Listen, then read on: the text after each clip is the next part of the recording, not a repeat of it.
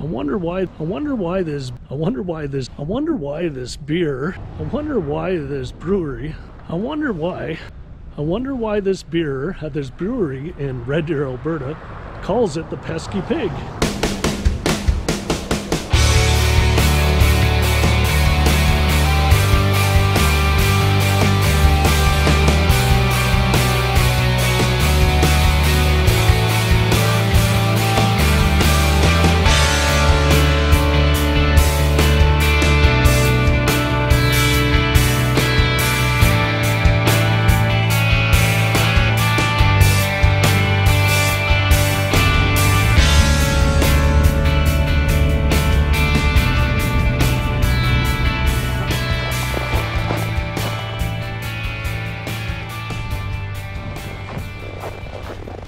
So why is there a bronze statue of a pig in this park?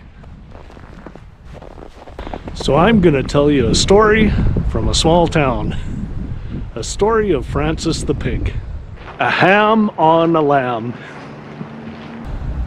So the story started in the summer of 1990 at a slaughterhouse called CA Meats at the time. That's the one right behind me here. And it started out on the kill floor where this 108 kilogram pig ended up jumping over a 1.2 meter fence. And then he snuck through the sausage plant and he eventually got to the outside where he broke through a screen door and made his way into the bushes. And that's how Francis the pig escaped. At that time, the pig had no name, it was just a number. And this is how Francis got his name. So it wasn't until October of 1990 when the pig got all the public attention from being sighted so many times in the river valley here. So at that time, the public started giving the pig nicknames. And there was names swirling around like Papillon and Dundee. And then a few names came up like St. Francis of Assisi. I don't know how to pronounce that.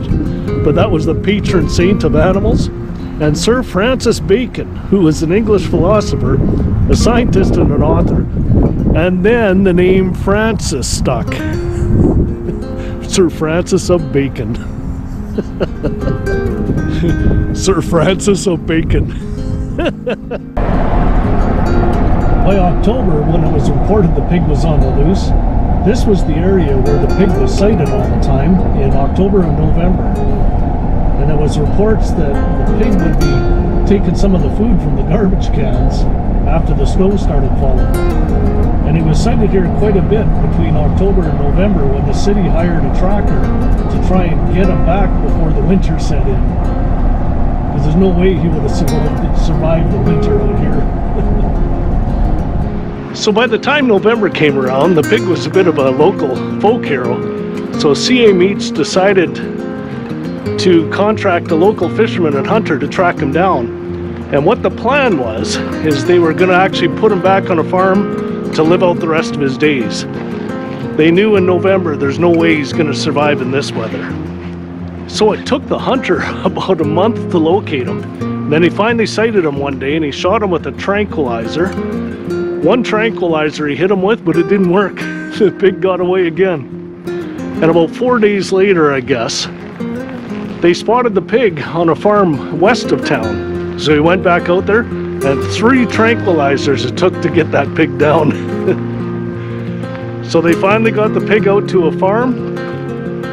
And sad to the ending of that story, about three days later or something like that, I think it was December 1st, 1990, the pig had passed on. So that's the story of a small town about the ham on a lam. so the Downtown Business Association decided to start a ghost project, is what they called it. And who did they pick to build these bronze statues of? Well, the founder of Red Deer, which was Reverend Leonard Gaetz. The first mayor of Red Deer, I can't remember his name, Francis something. And then the third one they did was Francis the Pig. so they got three bronze statues of the founder, the mayor, and a pig. okay, I hope you enjoyed that short little video. I think it's a little too cold for me to keep staying out here, so on to the next one. Thanks, take care. We'll see you later.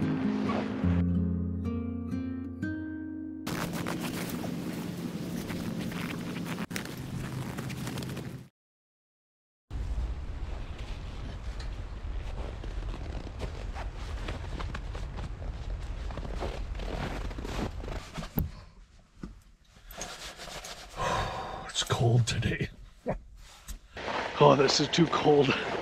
I gotta get back to warm weather. I wonder why this beer at this brewery in Red